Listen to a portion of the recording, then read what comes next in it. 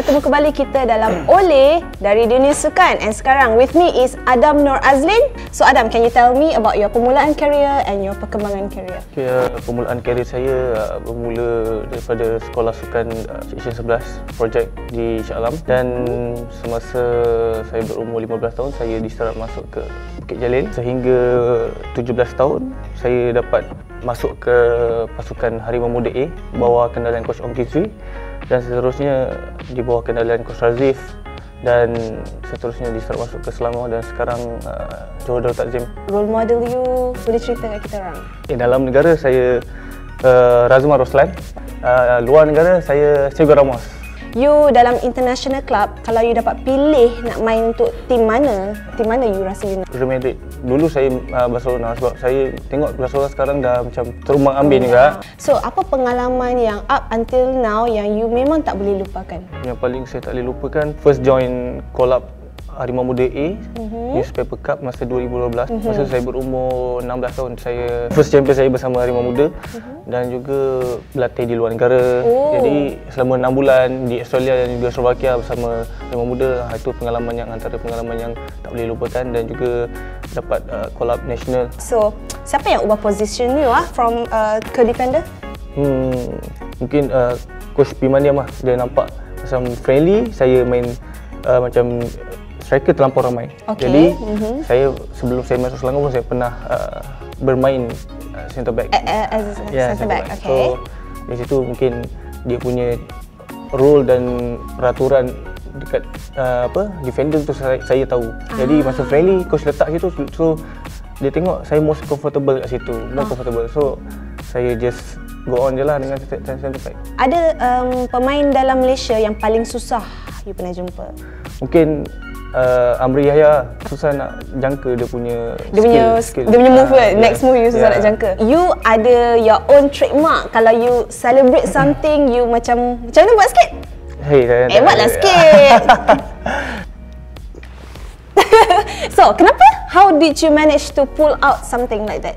Uh, mungkin kata itu secara kebetulan. Mm-hmm. Jadi benda tu dah jadi orang kata orang kenal saya melalui trademark saya. Okay, so recently I encountered a video. Ibu Masuk bagi 100% Dengan tim lain kita boleh kalah Kalau kalau Indonesia kita tak boleh kalah brother Kita tak boleh kalah Come on eh Aku nak semua satu hati Mungkin uh, sahabat saya dah dengan coach Ong dah lama kan. Mm-hmm. So dia dah anggap saya antara yang senior bukan senior tapi antara yang senior dalam pasukan. Saya bagi motivasi sebab uh, apa semua pemain orang kata tolak kat saya Miss Dam cakap lah cakap lah jadi oh. saya pun kita bermain dalam padang kita orang kata pride lah kita punya pride With jadi pride, kan?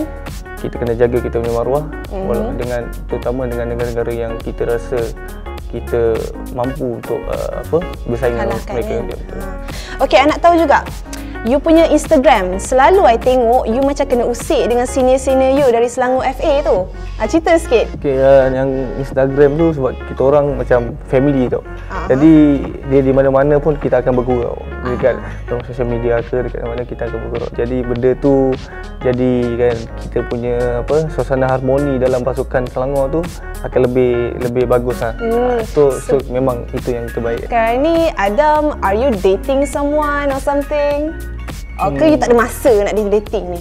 Saya ada je masa nak dating. Oh, Ah, ada, ada. ah, jujur lah, jujur. Jujur eh? Sama umur? Bawah saya. Oh, bawah tu, muda. Ah, ada tu. Okay. Ada?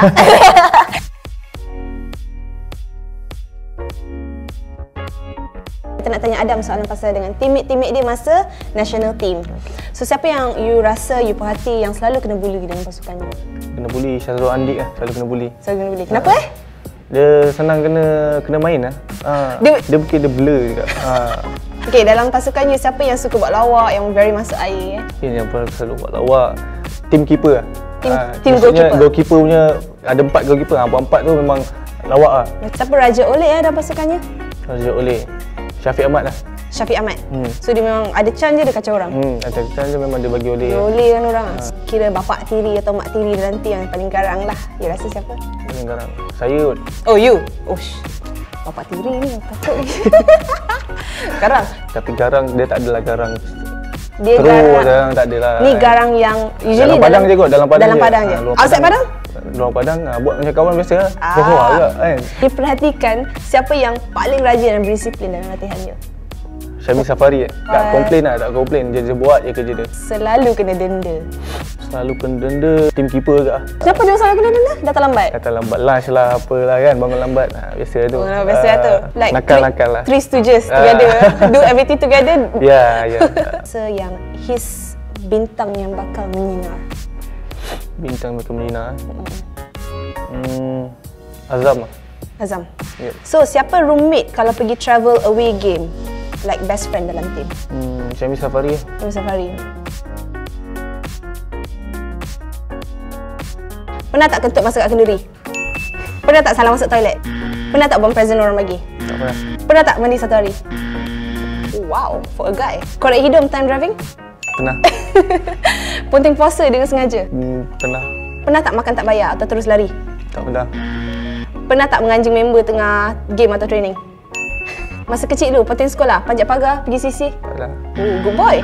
Pernah tak terfikir nak jadi manager? Pernah lambat datang training? Pernah salah masuk dressing room masa half time? Tak pernah. Pernah teringin nak main team lain? Alright. Ni saya harap kita dapat uh, mencipta satu sejarah baru di AFC final round di China nanti dan saya harap uh, uh, rakyat Malaysia terus menyokong pasukan bawah 23 negara untuk uh, kami berjuang di sana nanti.